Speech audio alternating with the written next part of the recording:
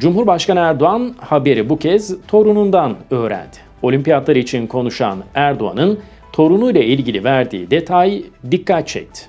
Macron beni davet etti.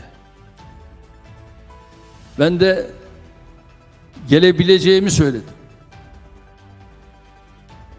13 yaşındaki torunum dede gitme dedi. Niye dedim?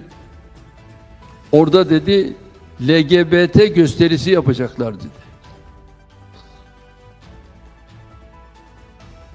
Çıkardı bana Instagram'dan o görüntüleri.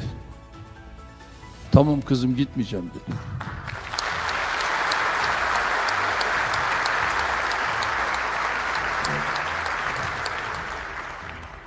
Ya düşünebiliyor musunuz?